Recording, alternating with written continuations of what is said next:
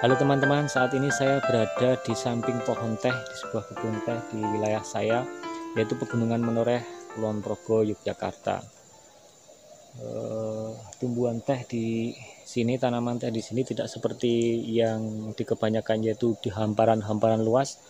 E, di sini keadaannya seperti ini ya, bercampur dengan tumbuhan lain seperti kopi dan pisang dan lain sebagainya. Dan kenapa saya hari ini saya berada di kebun teh karena ini sesuai dengan topik kali ini yaitu tentang pengolahan teh. Sebuah topik yang menarik perhatian saya karena ketika saya menggali-gali tentang cerita pertanian di wilayah saya, salah satu yang mengemuka adalah bidang teh ini. Dan bersama kita nanti kita akan bincang-bincang dengan salah satu pengolah teh dari Kampung Teko. Kampung Teko adalah sebutan eh, atau nama nama kerennya kampung saya, nama aslinya Pati Hombo. Tapi Kampung Teko itu dulu adalah sebuah proyek eh, dalam kita membranding teh dan kopi. Itu sebabnya hari ini kita akan bahas teh seperti apa kabarnya dari sudut pandang petani dan pengolah teh. Yuk kita ikuti bersama bincang-bincangnya.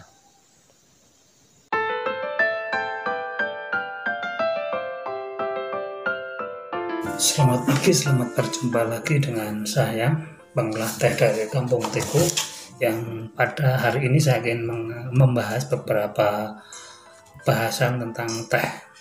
Saya sudah mengolah teh kurang lebih empat tahun yang lalu sampai hari ini saya tetap mengolah untuk uh, konsumsi saya sendiri dan untuk saya jual ke beberapa penggemar teh. Dan kalau saya bilang saya sudah menjual ke beberapa tempat untuk di toko dan lain sebagainya memang saya belum pernah menjual ke sana. Tapi ada beberapa teman yang secara uh, mandiri mereka meminta teh saya secara curah. Mereka kemas sendiri mereka jual dan mereka melabeli sendiri mereka melihat proses pembuatan teh mereka bikin SOP uh, uh, maksudnya fotokopi SOP saya dan mereka mengatakan bahwa ini teh mereka mengklaim ini adalah teh buatan mereka. Nggak apa-apa. Yang penting hari ini saya bisa mengolah teh dan saya bisa menjualnya. Intinya adalah bahwa teh di mana-mana uh, kendalanya dalam masalah penjualan tapi hari ini saya mengatakan bahwa teh kendalanya bukan di masalah penjualannya. Hari ini menurut saya teh sudah tidak ada kendala lagi, tidak ada alasan lagi untuk uh, mengatakan bahwa teh itu tidak tidak laku untuk dijual. Hari ini uh, saya mengatakan bahwa penjualan teh saya sekarang menurun drastis dan lain sebagainya itu bukan alasan karena pada kenyataannya teh itu bisa dijual secara uh, bebas dan beberapa teman saya sudah memproduksi bahkan dan, uh, bapak saya yang ada di link ke Bapak Sukohati sudah mempabrikkan skala kecil, skala mini.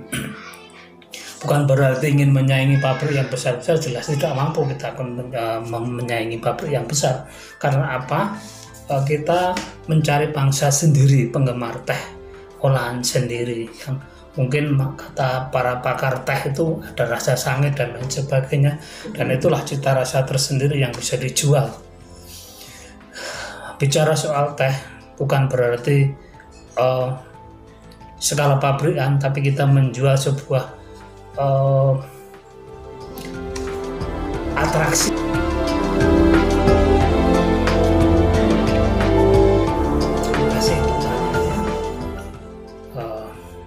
saya mengolah teh karena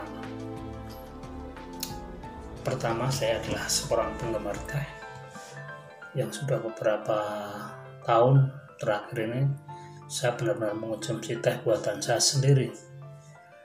Dan saya adalah uh, sangat fanatik dengan teh buatan saya. Bukan berarti saya itu tidak menyukai teh orang lain atau bikinan orang lain saya juga menyukai apalagi teh-teh racian sendiri saya bisa merasakan bahwa teh yang saya buat itu uh, ada cita rasa tersendiri.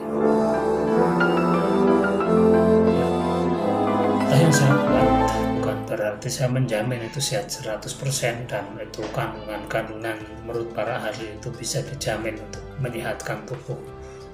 Si pengkonsumsi teh itu itu bukan ranah saya.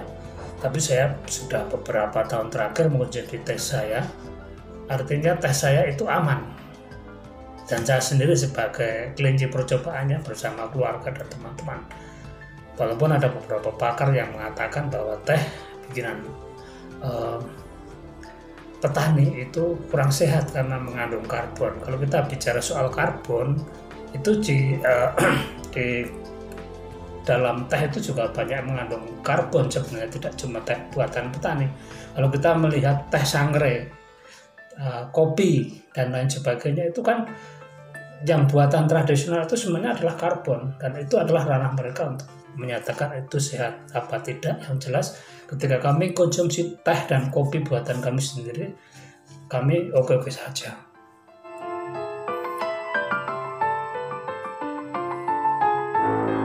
Oke uh, saya menjamin bahwa teh buatan saya ini aman untuk dikonsumsi karena sudah bertahun-tahun kami mengkonsumsi teh ini. Bahkan sejak bapak saya menanam teh tahun 1982 eh, 92 eh, sampai hari ini kami sekeluarga untuk mengkonsumsi teh buatan kami sendiri. Dan di kampung ini beberapa petani teh juga sudah mengkonsumsi sendiri. Saya belajar banyak dari Pak Sukwati kebun teh Linggo yang memberikan banyak uh, masukan buat saya untuk mengolah teh. Dan hari ini uh, teh kebun teh Linggo dan petani-petani sudah menikmati apa yang namanya teh olahan sendiri. Mereka bisa menjual dengan nilai ekonomis yang tinggi. Artinya teh ketika kita olah dan um, bisa kita jual dan sehat artinya kita juga aman dompetnya juga aman kesehatannya gitu.